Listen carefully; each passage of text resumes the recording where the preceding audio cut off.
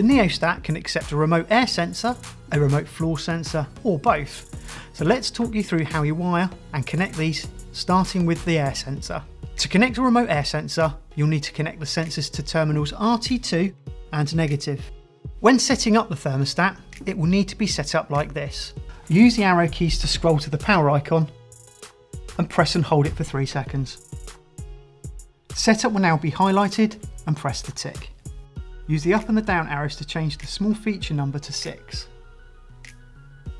Use the left and the right arrow keys to change the bigger number to read 01. Press the tick to confirm the selection and the thermostat will revert to the main display screen for the selected mode.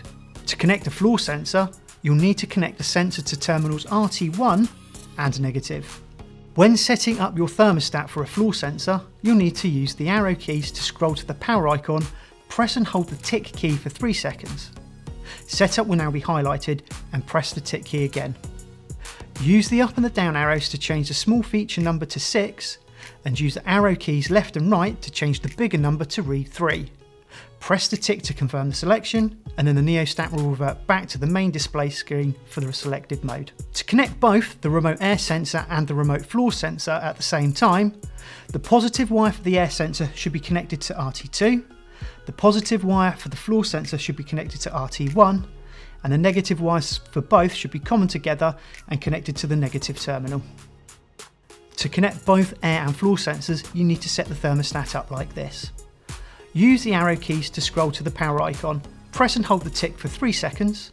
Setup will be highlighted. Now press the tick. Use the up and the down keys to change the small feature number to 6. Use the arrow keys left and right to change the bigger number to read 4. Press the tick to confirm the selection and the Neostat will revert back to the main display screen for the selected mode. If the sensor is wired incorrectly, or if the incorrect sensor option is selected, the thermostat will show an error on screen. E1 is shown if there is an issue with the floor sensor, E2 is shown if there is an issue with the air sensor. To clear sensor errors, it's a case of checking the sensor selection in the settings menu. Use the arrow keys to scroll to the power icon, press and hold the tick for 3 seconds and setup will be highlighted. Now press the tick and the display will show 1 in the top right hand corner.